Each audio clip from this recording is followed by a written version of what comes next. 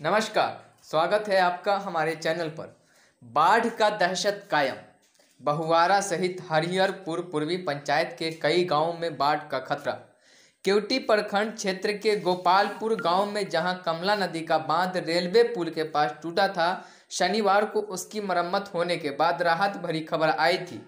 लोगों को जान में जान आ गया था। लेकिन उससे थोड़ी दूरी पर उसी गाँव में दूसरी जगह पर टूटा बाँध और यहाँ टूटने से सिंहवाड़ा के हरियरपुर पश्चिमी पंचायत के बहुआरा सहित हरियरपुर पूर्वी पंचायत के कई गाँवों में बाढ़ का खतरा मंडराने लगा है।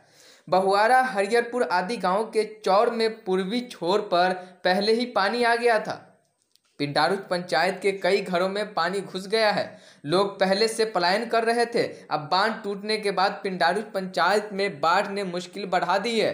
ऊपर से अब इंद्र भगवान भी नाराज़ होते हुए दिखाई दे रहे हैं। बारिश भी हो रही है। ऐसे में कुछ भी कहना मुश्किल है। वहीं जहाँ बाँध टूटा है पिंडारुच पंचायत के गोपालपुर गाँव में वहाँ की हालत अब चिंताजनक होती हुई नज़र आ रही है। आसपास के कई गाँवों की फ़सलें बर्बाद होती हुई दिखाई दे रही है। जहाँ बाँध टूटा है, वहीं पर सटे पिंडारुच के चौधराना में नदी का पानी कई घरों में प्रवेश कर गया है। इसको लेकर स्थानीय लोगों में आक्रोश भी है। पिंडारुच पंचायत के अलावा आसपास के कई गाँव में बाढ़ की दहशत है।